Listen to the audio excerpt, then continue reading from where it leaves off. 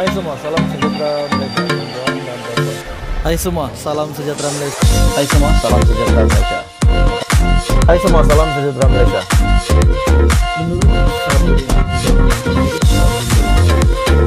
Hai semua, salam sejahtera Malaysia. Tuan-tuan dan puan Salam sejahtera Malaysia.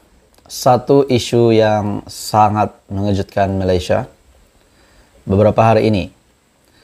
Baru-baru ini, SPRM telah mengambil tindakan untuk membekukan akaun bersatu. Persoalannya kenapa dibekukan? Ramai sehingga hari ini masih belum tahu kenapa akaun bersatu dibekukan. Ya, saya yakin semua sudah dengar berita bahwa akaun bersatu dibekukan dan jejak RM 260 juta dan kenapa dibekukan dan sebagainya menjadi pertanyaan. Hari ini, saudara-saudara semua, saya ingin mengulas, saya ingin menyampaikan sedikit tentang perkara ini. SPRM telah sah membekukan akaun bersatu disebabkan disyaki telah menerima derma RM 300 juta. Dalam hal yang lain, dalam uh, uh, perkembangan yang lain, pendedahan demi pendedahan bahwa SPRM juga telah membuat satu kenyataan. SPRM menjejak baki RM 260 juta. Adakah ini bermakna pembekuan akaun bersatu disebabkan menerima RM 300 juta? Dan dalam perkembangan yang lain, SPRM juga membuat kenyataan bahwa RM 260 juta dalam siasatan. Mereka sedang menjejak ke mana perginya RM 260 juta. Disebabkan baki yang tinggal di dalam account bersatu dipercayai adalah RM lebih kurang RM 40 juta. Satu kenyataan menyatakan bahwa SPRM menjejak baki RM 260 juta. Baki ini daripada lebih RM 300 juta dana di bawah package rangsangan ekonomi yang disyaki diterima Parti Pribumi Bersatu Malaysia dipercayai dibelanjakan semasa pilihan raya negeri dan juga pilihan raya umum ke-15. Sumber juga mendedahkan siasatan SPRM ini difokuskan dalam pelbagai sudut untuk mengesan jejak keuangan bagi tujuan mengetahui punca dan aliran wang. SPRM sedang menjejak RM 260 juta yang dipercayai yang sudah digunakan semasa pilihan raya negeri dan juga pilihan raya umum baru-baru ini. Akaun bersatu yang dibekukan karena disebabkan derma RM 300 juta dakwah sumber daripada SPRM sendiri. Oke, saudara-saudara semua, sebelum saya meneruskan, saya meminta jasa baik Anda untuk tekan butang like, share video ini supaya ramai yang boleh mendapat input ini, dan jangan lupa tekan butang subscribe, karena subscribe itu percuma. Sehari selepas mendedahkan account kepada umum, SPRM akhirnya memberitahu account berkenaan sudah dibekukan oleh agensi tersebut. Ketika dihubungi, Ketua Pesuruh Jaya SPRM Azam Baki mengesahkan perkara itu, yaitu pembekuan akaun bersatu. Menurut Azam Baki, akaun parti berkenaan dibekukan pihak berkuasa sejak dua minggu yang lepas bagi memudahkan siasatan yang dibuat mengikut Akta Pencegahan Pengubahan Uang Haram dan Pencegahan Pembiayaan Keganasan. Jadi saudara-saudara semua, Account bersatu rupanya sudah dibekukan sejak dua minggu yang lepas. Dan siasatan sudah pun dimulaikan. Yang menjadi tanda tanya sekarang adalah RM 260 juta menjadi keutamaan SPRM untuk menyiasat ke manakah RM 260 juta ini pergi. Adakah memang untuk pilihan raya negeri dan juga pilihan raya umum ke-15 baru-baru ini?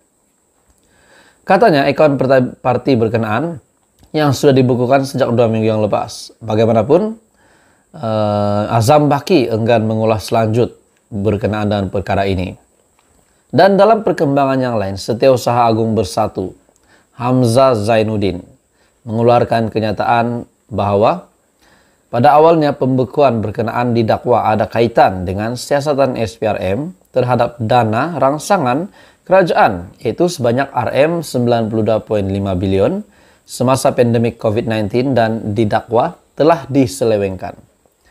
Adakah RM 300 juta ini memang benar-benar um, daripada RM 92.5 bilion ataupun RM 300 juta ini terdapat juga dakwaan bahwa adalah derma derma daripada beberapa individu.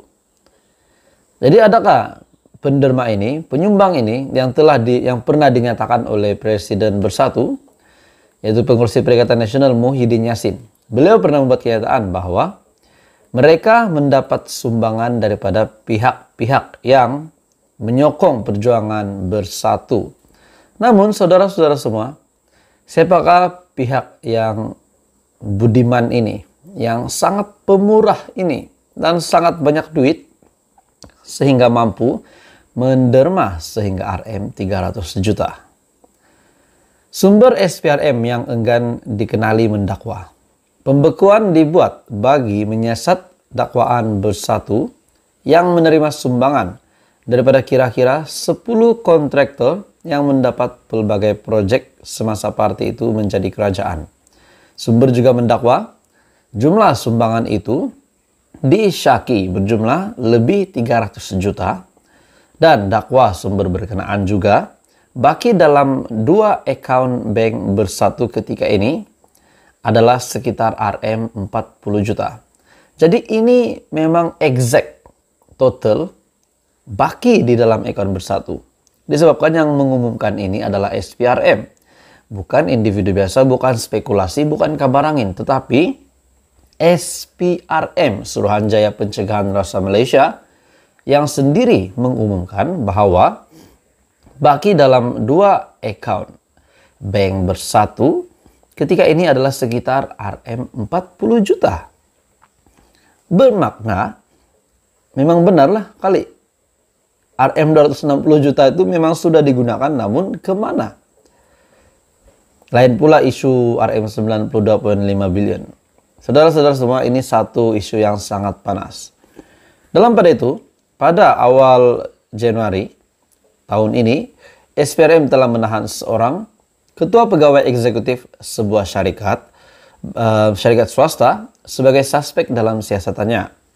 Ketua pegawai itu disyaki menjadi orang tengah dalam pengagihan proyek kerajaan di bawah package rangsangan ekonomi antara tahun 2020 dan 2022. Individu terbabit kemungkinan didapati seorang ketua bahagian bersatu, timbalan Presiden Bersatu Ahmad Faizal Azumu kemudian segera menjarakkan pemimpin tertinggi partai itu, Muhyiddin Yassin daripada sebarang kesalahan atau penyelewengan. Ada juga mendakwa bahwa sebanyak 4.5 bilion daripada jumlah tersebut berakhir dalam dana Perikatan Nasional untuk menghadapi PRU ke-15. Dan sudah pasti dakwaan tersebut dinafikan sekeras-kerasnya oleh Muhyiddin. Kalau Muhyiddin menafikan, Muhyiddin kena buktikan. Itu saja yang rakyat mahu. Saudara-saudara semua, apa komen Anda? Adakah memang benar duit berbilion diletakkan ataupun ditapukkan, disorokkan di bawah kerusi, di bawah katil, di dalam almari rumah Muhyiddin atau sebagainya? Itu sebagai perumpamaannya saja. Dan kalau benar memang Muhyiddin Yassin tidak membuat perkara ini menyeleweng dana, menerima RM 300 juta, 4,5 bilion dan sebagainya, yang spekulasi yang dibuat, kalau benar memang ini tidak benar, hanya kabar angin dan hanya spekulasi daripada uh, beberapa orang. Rakyat mahu, Malaysia mahu, Muhyiddin Yassin buktikan. Apa komen Anda saudara-saudara? Teruskan bersama di dalam channel ini. Jangan lupa tekan butang like, share, dan subscribe.